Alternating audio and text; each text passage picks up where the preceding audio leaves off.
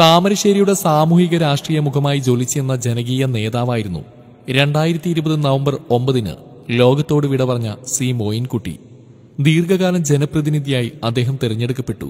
ആയിരത്തി തൊള്ളായിരത്തി എൺപത്തിരണ്ട് എൺപത്തിനാല് ആയിരത്തി തൊള്ളായിരത്തി എൺപത്തിയെട്ട് തൊണ്ണൂറ്റിയൊന്ന് കാലയളവുകളിൽ താമരശ്ശേരി ഗ്രാമപഞ്ചായത്ത് പ്രസിഡന്റായിരുന്നു.